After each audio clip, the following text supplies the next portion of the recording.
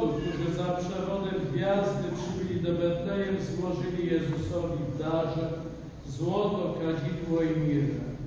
Złoto oznaczało godność Jezusa jako króla, kadzidło najwyższego kapłana.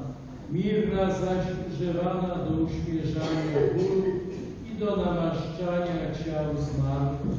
Była zapowiedzią pańskiego pogrzeby. Zgodnie z dawnym zwyczajem w czasie dzisiejszej mszy świętej błogosławimy kredą, aby nią oznaczyć drzwi naszych domów na znak, że przyjęliśmy wcielonego Syna Bożego.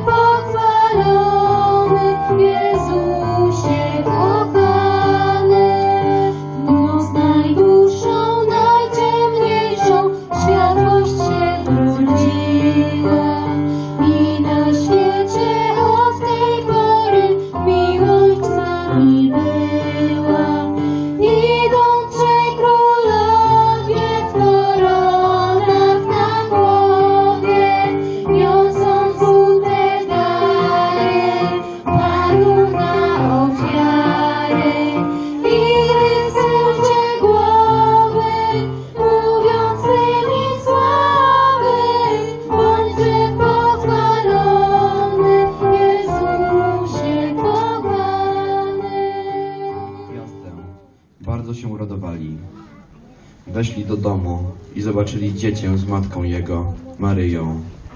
Upadli na twarz i oddali mu pokłon.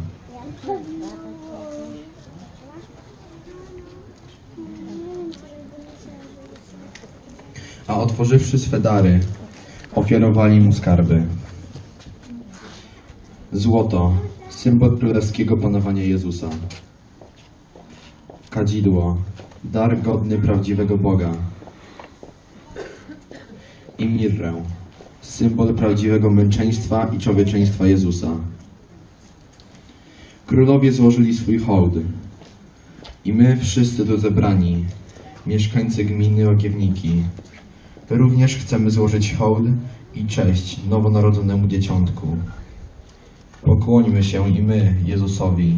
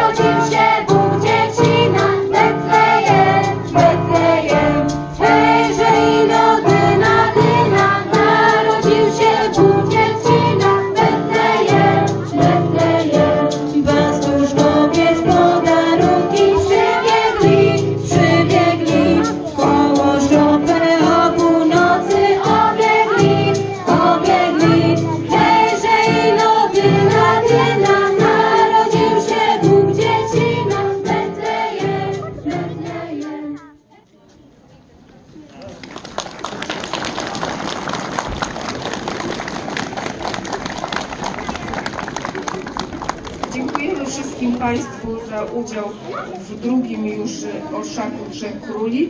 Zapraszamy już teraz za rok. Dołączam się do podziękowań, które ksiądz proboszcz złożył w kościele tutaj nam wszystkim, bo dzisiaj wszyscy jesteśmy tymi królami, którzy składają pokłon dzieciąteczku, biorąc udział w takim wydarzeniu. Zapraszam na herbatę, kawę i tradycyjne ciasteczko y, z orszaku Trzech Króli.